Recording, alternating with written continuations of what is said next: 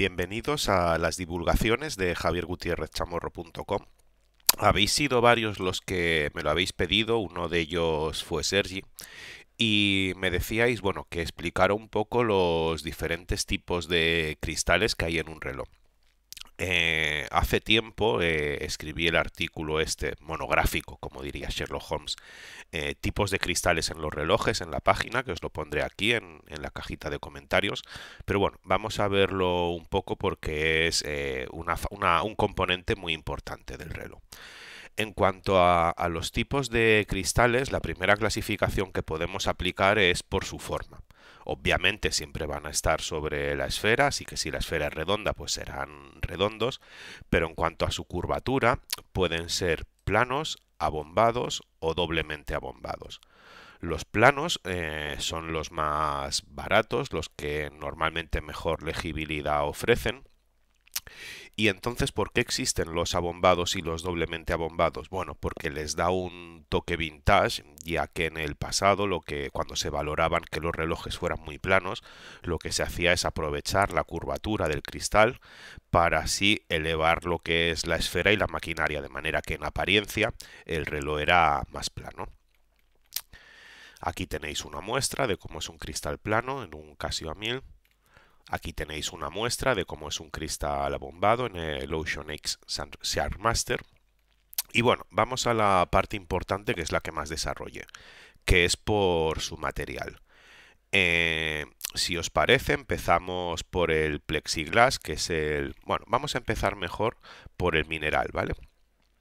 Eh, que fue el primero que se desarrolló. El cristal mineral lo habéis visto en relojes de bolsillo antiguos, en relojes de sobremesa. Y claro, cuando la relojería se traspasó a la muñeca, se siguió usando este cristal mineral.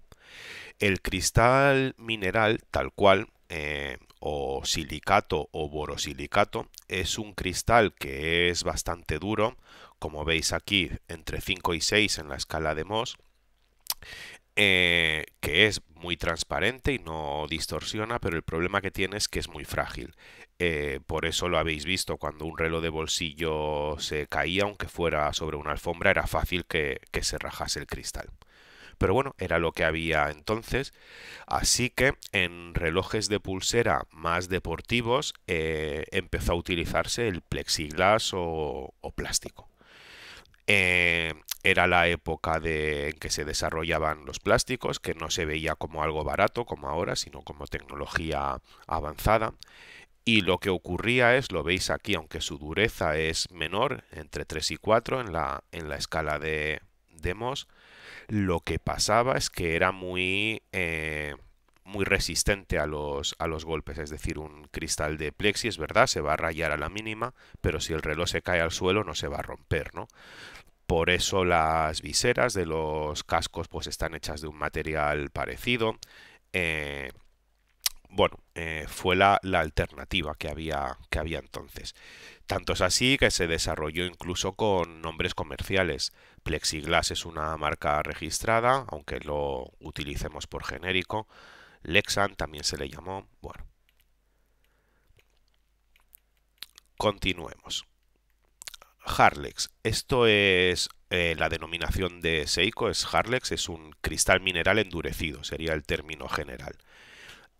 Esto surgió en tiempo muy posterior cuando se descubrieron los vidrios templados. Los conoceréis en la vajilla Duralex o en, las lunas y en las ventanillas de los coches. Es, bueno, en los coches es además de templado laminado, pero lo que, lo que permite el cristal templado es que sea mucho más duro.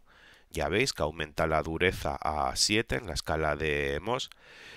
Eh, se raya con menos facilidad que, el, el, borosilicato y además pues es eh, igual de resistente, es decir, eh, perdón, es, y además es mucho más resistente, es decir, que si se cae lo más normal es que, es que no se rompa.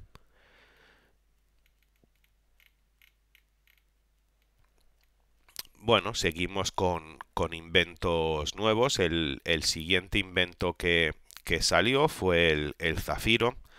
Para que os hagáis una idea, el cristal de zafiro, que hoy en día es tan común en relojes de, 60 euros chinos, pues en los años 80 pertenecía a los relojes de lujo y no todas las marcas lo montaban, eran pocas los que los que montaban un cristal de zafiro, un zafiro sintético, eh, pero bueno, que es un, material que, es costoso de desarrollar y en aquella época todavía más.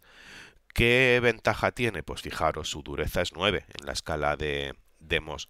Eso quiere decir que solo un diamante lo, lo podría rayar pero eh, es más frágil que el, que el Harlex, es decir, eh, si el reloj se cae al suelo se puede llegar a quebrar. Pero bueno, es muy, es muy irrayable y muy duro. Eh, ¿Qué surgieron después de, del zafiro en, en marcas más, más populares? Pues pasos intermedios. El primero es el Saflex, otra patente de Seiko, pero bueno, que, existen en, multitud de variedades llamados Afitec. Eh, bueno, ¿en qué consiste? Pues que es esencialmente un cristal mineral, pero que en su parte interior pues está reforzado con, con láminas de zafiro. De manera que tienes pues zafiro y mineral y obtienes lo, lo mejor de los dos mundos.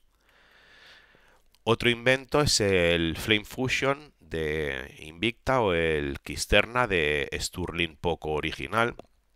Y es lo mismo, es otra mezcla de, mineral y de, zafiro pero en este caso en vez de ser láminas una encima de otra pues es una mezcla de los dos materiales que se ha, se ha fundido junta ¿no? Eh, bueno, por supuesto hay otras simplificaciones como es los cristales minerales a los que en la parte externa se le pone una pequeña capa de zafiro, pero bueno, esencialmente sería esto. Eh, ¿Qué más tenemos que comentar? El, tratamiento antirreflejante. Eh, vamos a ver los zafiros reflejan la luz más que un cristal mineral y entonces como también el zafiro es por, costo de fabricación más caro, lo ideal es aplicarle un tratamiento antirreflejantes. El tratamiento antirreflejante no es más como que, algo parecido a lo que se usa en los lentes de, las gafas, es decir, una película que se aplica a los cristales y que eh, tiene por cometido evitar los, los reflejos se suele identificar eh, fácilmente porque si pones un, cristal con antirreflejante a la, a la luz, eh, verás que lo refleja y si tiene tratamiento antirreflejante normalmente lo atenuará y lo verás como, unos destellos azules, es decir, sigue reflejando pero en menor medida. Entonces, el tratamiento antirreflejante hay, hay muchos tipos de tratamiento. Lo ideal es que se aplique en la cara interna del cristal, es decir, en la parte de dentro. ¿Por qué? Porque si decimos que el cristal de zafiro es irrayable y fuera hay antirreflejante, pues es fácil que con los roces o con los golpes esa película antirreflejante pues se vaya desgastando. Mientras que si lo ponemos en la cara interna, pues, pues no sufrirá ese problema y seguirá siendo eficaz. Em, además, en muchos sitios se dice con tres capas de tratamiento antirreflejante. Bueno, esto no es un poco como el Loom, que a más capas más brillo, sino lo que se hace es se le aplica diferentes tratamientos antirreflejantes, ¿no? Son diferentes variantes del, compuesto y, y, ya está. Y en los minerales, ¿por qué no tenemos antirreflejante? Bueno, porque los minerales en primer lugar reflejan menos la luz y en segundo lugar, porque eso, al ser un cristal más barato, este tipo de tratamientos son caros, como lo habéis visto en las, en las gafas, ¿no? Puedes conseguir unos cristales de gafas normales, graduados, por 50 euros y si quieres antirreflejante, pues casi se duplica la cosa, ¿no? Y bueno, esto es todo en cuanto a, los cristales de, de los relojes leeros el post que está mucho más detallado si os apetece, dadle like al vídeo, suscribiros al canal y bueno, nos vemos en la siguiente divulgación de javiergutierrezchamorro.com. Hasta la próxima.